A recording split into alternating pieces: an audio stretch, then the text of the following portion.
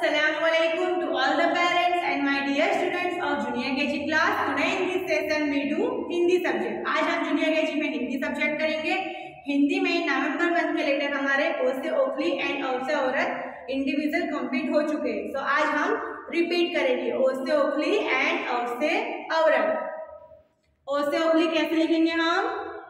Curve curve sleeping standing second standing sleeping and one slanting and also औरत curve curve sleeping standing second standing sleeping line one slanting and second slanting ओ से ओखली में one slanting line आएगी and औ से औरत में two slanting line आएगी ओ से ओखली औ से औरत now we will write in our Hindi note parents, आपको इस तरह से बुक रेडी करनी है, class work, date thirteen, ten, twenty one, two time ओ से ओखली एंड टू टाइम ओ से औरत। वन पेज पर फोर लेटर आएँगे। ऊपर आपको पिक्चर भी ड्रॉ कर देना है ताकि उन्हें लेटर अच्छे से रिकोगनाइज हो जाए।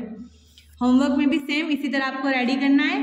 पहले क्लास वर्क का पेज कंप्लीट करेंगे स्टूडेंट्स बोल बोल कर ओ से ओखली। बोल बोल कर लिखना है आपको ओ से ओखली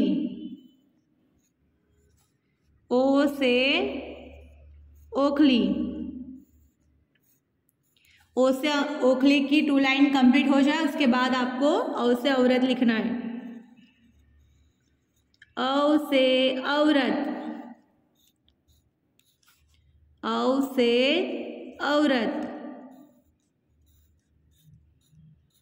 ओ से ओखली एंड औ से औरत। क्लासों का पेज पहले कंप्लीट करना है अच्छे से, उसके बाद आपको होमवर्क लिखना है। Thank you